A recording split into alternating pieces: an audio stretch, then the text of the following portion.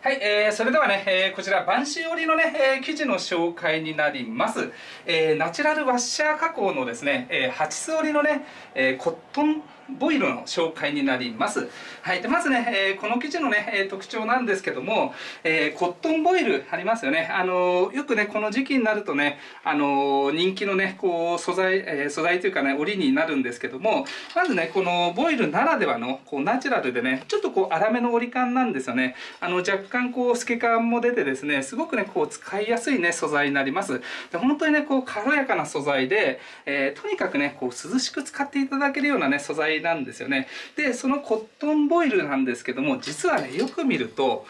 平織りじゃなくてね、ちょっと見ていただくとわかるんですけども、この八つ織りでね、えー、この生地を表現してるんですよね。なので、生地自体もね、すごくこう個性的なね、え、楽しみ方をできるんじゃないかなと思います。で、そんなね、えー、ボイルの生地にですね、これね、えワッシャー加工も施されてるのえー、施してるんですよね。なので、あの、すごくね、風合いっていうかね、生地自体のデザインなんかもね、すごくこう楽しめるんじゃないかなと思います。はい、それではね、次、生地の厚みいきたいと思います。で厚みはですね、えー、ボイルなので、基本的には薄手素材になるんじゃないかなと思います。はい、で、風合いなんですけども、風合いもね、えー、コットンボイルならではのね、こう、軽やかな風合いなんですけども、あの、程よい、こう、ワッシャー加工が施されてるので、あの、いい意味でね、すごくこう、ボリューム感っていうかね、薄手なんですけども、程よい、こう、ボリューム感をね、こう、楽しむことができると思います。ぜひね、この辺も参考にしていただければなと思います。はい。で、次にね、ドレープいってみましょう。ドレープもね、こんな感じでナチュラルでね、こう柔らかい、え、軽やかなね、ドレープ楽しんでいただけるんじゃないかなと思います。はい。で、作品なんですけども、まあ基本的にはね、あの、シャツブラウスとかがね、あの、いいと思います。あとね、このナチュラルなね、こう折り感を生かして、春から夏にかけてのね、ストールなんかもね、すごく相性がいいと思いますので、ぜひね、いろいろな作品にね、こう使っていただきたいなと思います。